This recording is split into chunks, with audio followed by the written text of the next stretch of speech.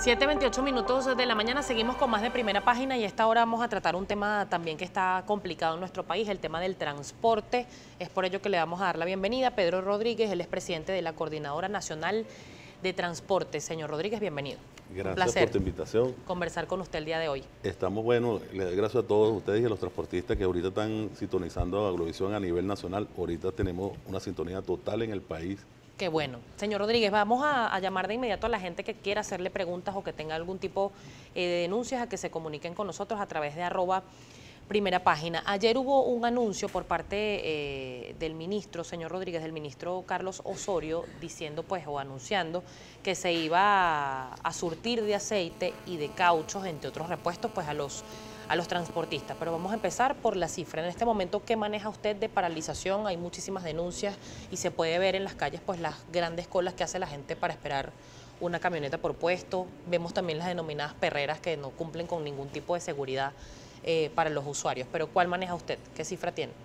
Mira, si es bien cierto que hay una cifra que estamos pasando ciertas necesidades en el país a nivel nacional, también es bien cierto el, el apoyo ¿verdad? incondicional y el esfuerzo que está haciendo el ministro Osorio para todos los transportistas del país.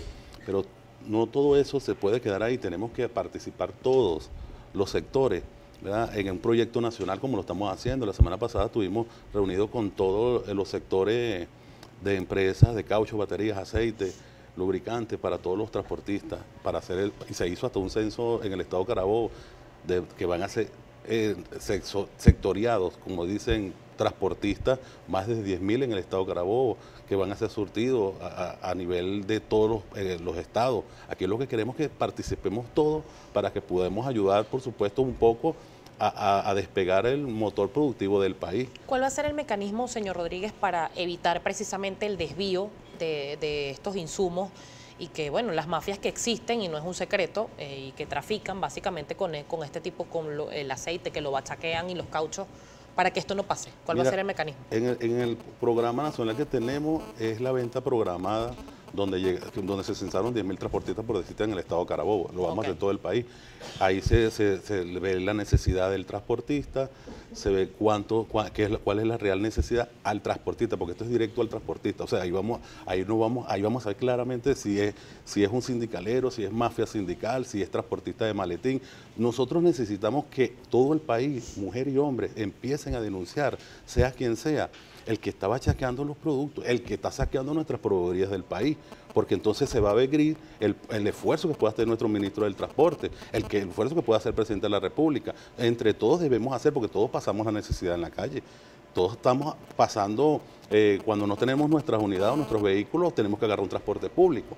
Necesitamos con urgencia activar el, el banco del transportista y no solo el Banco del Transportista, sino la banca pública, tenemos que unirnos todos para que entonces desde ahí saquemos una, un avance y, un proyecto donde podamos ayudar a todas esas unidades que están paradas en el país.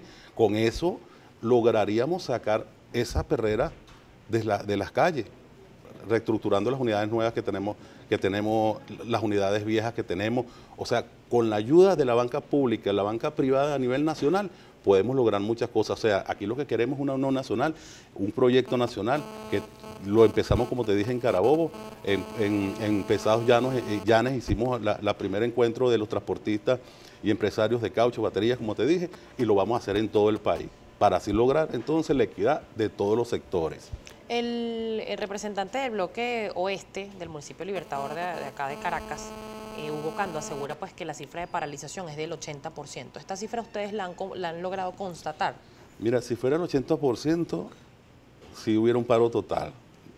Estamos logrando y tratando de que las unidades, tanto privadas que él maneja, como las públicas salgan a la calle. Aquí lo que no queremos es rivalidad.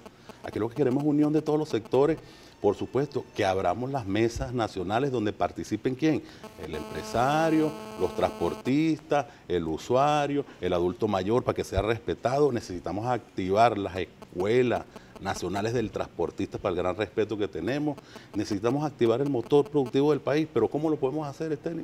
En la unión de todos los sectores. ¿Cómo lograr eso? Porque es que el tema político ciertamente ha creado mella en, todo el país, en todo, en todo su conjunto, pero el tema del transporte ha sido por años. No han logrado ponerse de acuerdo. Exacto. Bueno, como te dije, nosotros tenemos un proyecto nacional que, es piloto ahora en Carabobo, vamos a estar en Yaracuy, vamos a estar en, en Barquisimeto, vamos a estar en Barina, en Maracaibo, haciendo lo mismo que hicimos, que fue todo un éxito, donde le vamos a demostrar al presidente que sí se puede con la unión de todos los sectores. El papá gobierno no puede hacerlo todo y nosotros tampoco podemos esperar porque la crisis está fuerte con el transporte. Entonces necesitamos que todo, que sí creemos en Venezuela, que sí creemos que podemos arrancar el, país, el, motor productivo del país, lo tenemos que hacer en unión de los sectores. ¿De cuál sectores?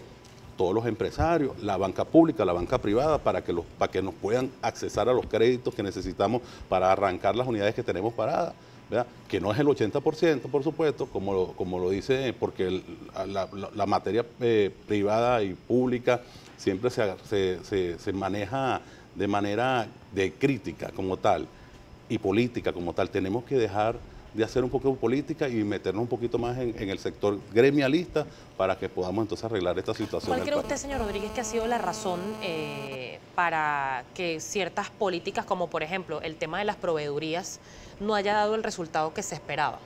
Porque hay, han habido denuncias incluso de, transportistas afectos quizás al gobierno, por decirlo de alguna manera, eh, pues que han dicho que hay guerra económica incluso internamente porque las proveedurías se han desviado también los cauchos, los repuestos, el aceite. Mira, a nosotros tenemos que darle una, ¿verdad? un aplauso a lo que es la Guardia Nacional Bolivariana y a la Policía Nacional Bolivariana y hasta el mismo CCPC.